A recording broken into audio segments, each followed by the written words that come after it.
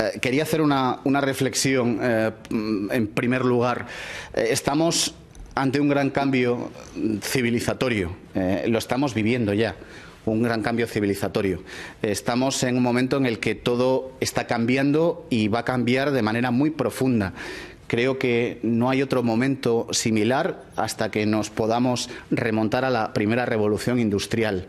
Si hay algo que produjo la primera revolución industrial fue que frente a un desarrollo desmedido de la tecnología, a un cambio también en las condiciones de vida, en las formas de sentir, eh, frente a la preponderancia de la ciencia y la tecnología, también la humanidad se paró a pensar a dónde iba. Eh, es el momento del nacimiento de la Ilustración, es el momento del nacimiento incluso del socialismo, de, los grandes, de las grandes teorías políticas.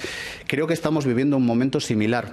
La paradoja, pues, ante el nacimiento de la tecnología de inteligencia artificial o de la robótica, que como digo va a cambiarlo y lo está cambiando absolutamente todo, es que de nuevo eh, cobra eh, importancia la filosofía, cobran importancia los, las grandes preguntas filosóficas en cuanto a cuáles y cuáles son los límites de la realidad, cuál es la realidad y los límites de la realidad, eh, qué es inteligencia artificial y qué no lo es, eh, quiénes somos, de alguna forma, porque también tendremos que definir muy bien quiénes somos y hacia dónde queremos ir.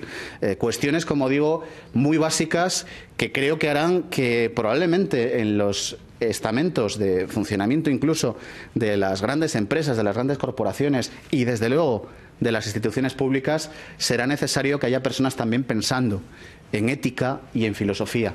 Y de alguna forma eh, lo que hemos conseguido aquí es ponernos de acuerdo eh, con respecto a cuáles son los valores fundamentales que todos compartimos eh, y quiero resaltar la importancia que esto tiene porque estamos viviendo también probablemente también de alguna forma eh, condicionado por, por, este gran salto tecnológico. Estamos viviendo un momento en el que es muy difícil ponerse de acuerdo. Si nos vamos a los eh, estados-nación, eh, a los parlamentos nacionales, vemos que esto es muy complicado. Aquí mismo, que era un remanso, creo que, no voy a decir de paz, pero que era un sitio un poco más tranquilo, ¿no? de negociación, de acuerdo, de transacción. Aquí también vemos que las cosas se están poniendo mucho más agudas, mucho más difíciles. Por eso quiero valorar el enorme esfuerzo que han hecho todos los miembros del Comité de Asuntos Jurídicos para tratar de ponernos de acuerdo en qué cosas de verdad compartimos. Me parece un buen comienzo. Creo que, como decía en la parte en inglés, hemos preparado el camino muy bien para la comisión. Hemos hecho la parte más difícil.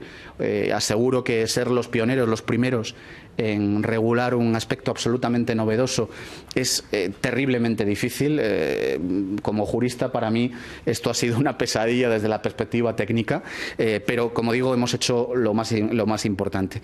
Y un último mensaje que a mí me parece también fundamental. Hemos puesto al ciudadano, a la ciudadana, al ser humano, lo hemos puesto en el centro. Hemos escogido, elegido, eso es una decisión política, que el ser humano fuera el centro de los beneficios que se puedan derivar de la tecnología, que en cualquier caso eh, íbamos a tomar medidas, precauciones para que no se lesionara al ser humano tampoco eh, en sí, para que eh, la tecnología no estuviera descontrolada y pudiera de alguna manera acabar por perfeccionarse tantos riesgos como la tecnología y una tecnología de estas características también lleva junto con, las grandes promesas. Eh, estos días estoy citando mucho una, una, frase de Dworkin que, a mí me parece que lo resume todo muy bien, que cuando habla de la ciencia, habla de la ciencia como promesa o como amenaza. Bueno, pues la tecnología eh, de inteligencia artificial creo que tiene un poco de las dos cosas. Yo quiero quedarme, y creo que es lo que hemos hecho los miembros de este comité, eh, quiero quedarme con, las oportunidades, con, con las promesas, porque creo que, estamos también ante una grandísima oportunidad para dar un gran salto adelante en nuestro modelo civilizatorio y para también, ¿por qué no?, eh, ser los pioneros en trasladar ese modelo hacia el exterior, eh, como lo hemos sido en tantas otras cosas los europeos y las europeas. En fin, muchísimas gracias, estoy a su disposición eh, si tienen alguna pregunta o alguna aclaración sobre el contenido y les voy a dejar con mis compañeros, que por cierto quiero aprovechar también la ocasión para, para agradecerles su colaboración y para decir que han hecho un grandísimo trabajo también en, dos aspectos que son completamente novedosos, sobre los que otra vez se elevan un mar de dificultades y de dudas ¿no? alrededor de resolver otra vez, eh, volver a repensar lo que, lo que ya era lo más básico desde un, desde un principio. En fin, muchísimas gracias compañeros eh, y vuestra es la palabra. Gracias.